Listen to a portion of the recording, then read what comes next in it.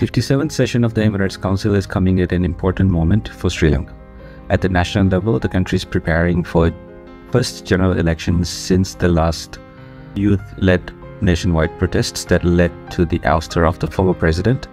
This session of the Human Rights Council is also scheduled to renew the existing mandates for accountability and monitoring and reporting on the situation of human rights in Sri Lanka.